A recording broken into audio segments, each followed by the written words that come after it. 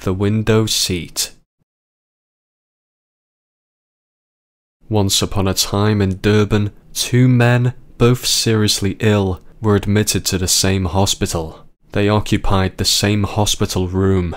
One patient had the window in the side wall, or you can say he had the window seat or bed, while the other one had the simple wall without any windows in it. The patient having his bed next to the room's only window was allowed to sit up in his Fowler bed for an hour every day in the afternoon to help drain the fluid from his lungs. The other patient had to spend all his time flat on his back. Both the patients became friends and used to talk for hours every day. They used to speak about their families, friends, and occupation. They also talked about their involvement in the military service and about their holiday, etc.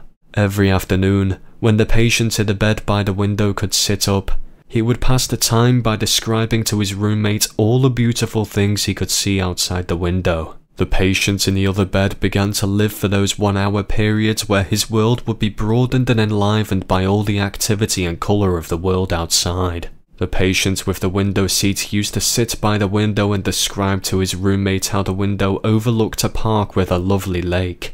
Ducks and swans played on the water while children sailed their model boats. Young lovers walked arm in arm amidst flowers of every colour, and a fine view of the city skyline was visible in the distance. As the patient by the window seat described all this in exquisite details, the patient on the other side of the room would close his eyes and imagine this picturesque scene in his mind.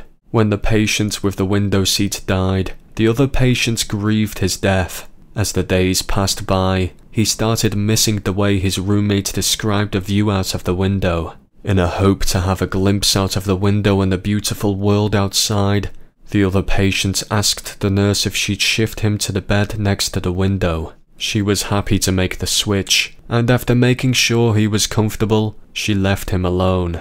Though his health had improved, it was still very painful for him to sit up on his own. However, he was determined to see with his eyes all the images his roommate had described to him. As he strained to peer out the window, he was surprised to discover the window faced a simple wall. The patient asked the nurse what could have compelled his deceased roommate to describe such beautiful and wonderful things outside the window. The nurse responded that the patient was blind and could not even see the wall. She said, Perhaps he just wanted to make you happy.